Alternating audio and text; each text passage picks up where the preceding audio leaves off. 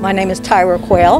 I'm a school elected school board member of serving the community for eight years. What Chester Upland School District means to me is the opportunity to create scholars, educate our young people to thrive, to be independent, and to be accomplished.